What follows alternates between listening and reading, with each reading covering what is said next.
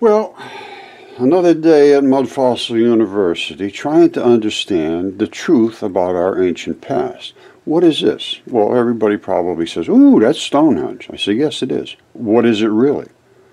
Well, it's a bunch of rocks standing up and they were dancing around it and doing all kind of crazy things. Let me tell you something. That is a monument to a giant. That is the foot.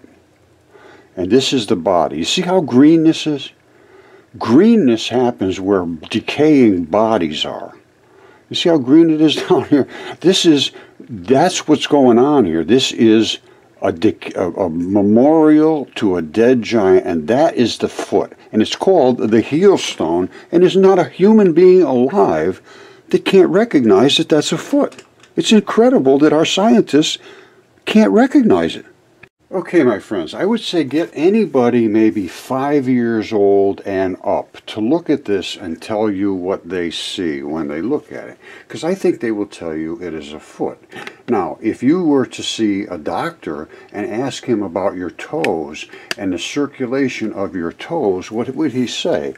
He would say, well, arteries and veins come to the tips of your toes and fingers. And at the end, they transfer. You see those little dots right there? Dots right there? These two little dots right here at the tip of each toe? That's where the blood transfers over from the artery into the vein and goes back to the heart. It's absolutely amazing. I contacted Stonehenge. I said, you got a foot there. And they said, don't ever contact us again. This is where the blood comes out, too. I mean, it's just, there's no question what it is. And it's called the heel stone. And I'm telling you right now, that is a monument to a fallen giant.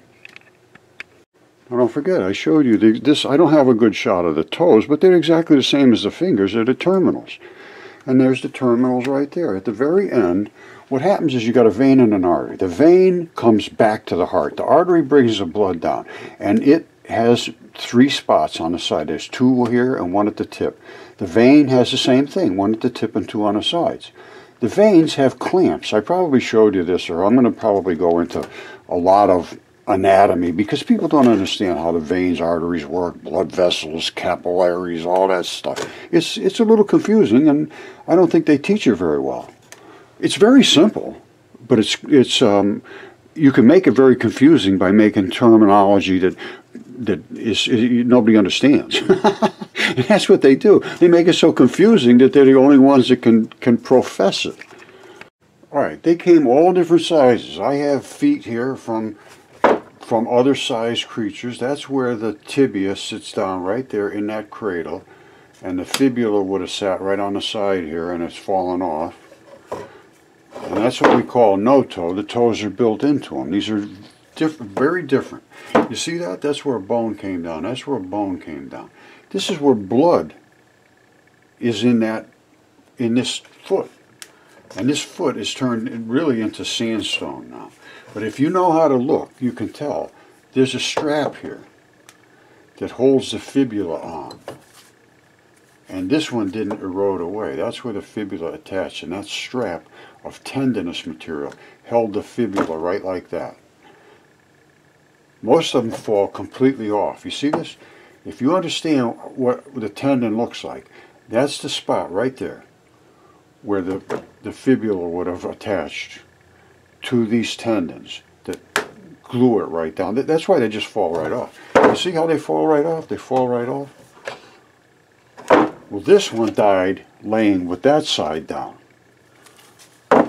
So the fibula didn't, well, the fibula fell off, but it left all of the the gluey part and where it did attach.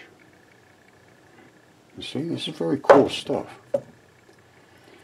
You have to really do some investigating. You can't just look at this and just dismiss it, which is what's happened with academia. They have no interest in discovering the truth about our past. I thought that's what their, their, their whole function was. It's just not. It's to dismiss everything that you can see with your own eyes it's a it's a distressing situation, really.